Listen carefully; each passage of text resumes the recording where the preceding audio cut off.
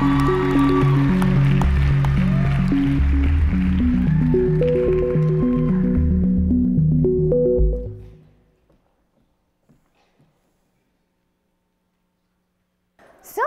I am a woman of many interests, and besides microphones, I also don't like clocks. because when they make that stupid ticking noise, it feels like that noise on that clock is rushing me, reminding me that I need to be on pursuit of success and opportunity. The only time that I have ever been free of that relentless secondhand, the shower. So, in June before my sophomore year of college, I was in the shower. I was singing, enjoying the moment when I made a discovery uh, a lump in the middle of my right breast. So, preferring solution oriented thinking, I sprung to action and I wasted no time. You see, I was a planner. I mean, I literally had three calendars. So I spent the rest of that summer scheduling, planning, and organizing all of the programs I had coming up in the new school year.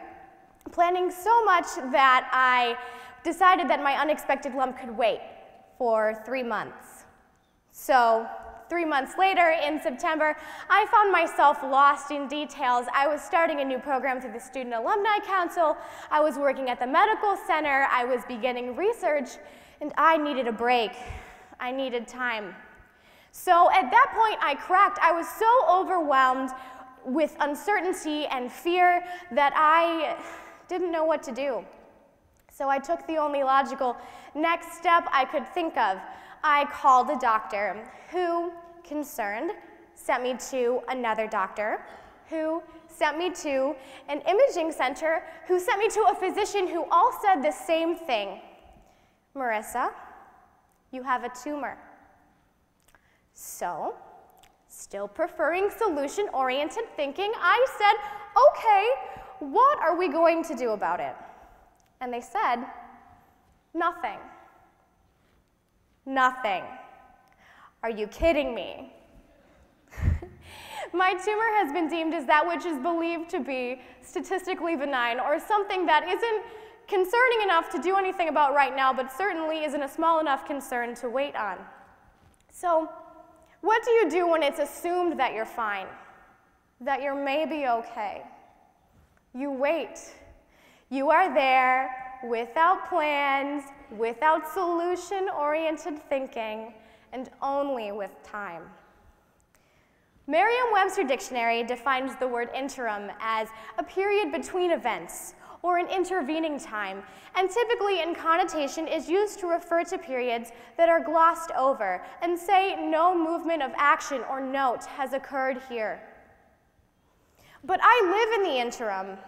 I am between knowing for certain if I'm going to be okay and not knowing that at all, and certainly I have been confused and I have been angry. And for a while, I would shrug and I would say things like, hey, stuff happens, right? I'll get through it. I don't even know what's going on right now. I'll be stronger in the end. And maybe that's the case. But in saying that, I denied myself the opportunity to live with and work through that uncertainty and pain and fear I was feeling. When we reflect on our lives, we tend to view them as a series of achievements. You did this, you wrote that, you traveled here. But what about everything else? What about when you stayed up all night to finish those winning scholarship essays or worked extra shifts to save for that plane ticket? We spend so much time thinking about that which lies ahead, the next accomplish accomplishments we can add to our resumes, or the next adventures we can take. And those are certainly the things that add the much needed and desired variety in our lives, but what about everything else? Because most of this time, you're not standing on a stage winning an award or on a plane to an exotic country. Most of the time, you're in between that. Really, in every part of your life, you will experience an interim, whether it be in your health, your relationships, your career, or anything else. And for those of us that are students, we're in one right now. College itself is an interim process. We come here not fully sure or aware of what we want to do, or who we want to be, or even where we're going after graduation. Many of us don't know what it is that will give us those feelings of success and security that we are consistently supposed to be striving for. So, since we don't know what we're looking for in our future selves, we try to find ourselves through planning. We take classes in diverse subject matters. We go to group meetings to try new things. We take personality quizzes on BuzzFeed. And we try, perhaps in vain, to foresee our futures. Now, don't get me wrong, scheduling and planning out the details of my life are two things that I still try to do, but lately I've come to regard that as a little bit arrogant. Who am I to believe that I, one person, can have control over that which determines what runs the second hand on my clock? There is something extremely humbling about living in the interim, because when you don't know the future and you're finished with the past, all you have is the present. I still have a tumor. There are aspects of my life and all of yours that are opaque, and I've found that it is this uncertainty and this ambiguity that unites us. We are all made human in the fact that we don't know what is coming next. I challenge you to look at your life right now and understand that whatever interim you're facing is what will shape you and make you better for the future.